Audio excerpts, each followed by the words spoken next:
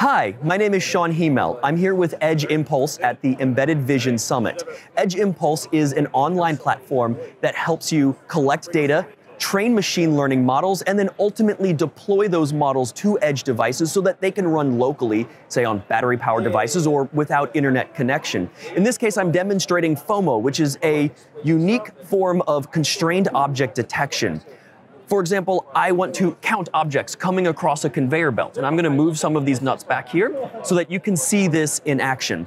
I'm running on a Renesas board that acts as a single board computer, but this will run on microcontrollers, for an example, as well.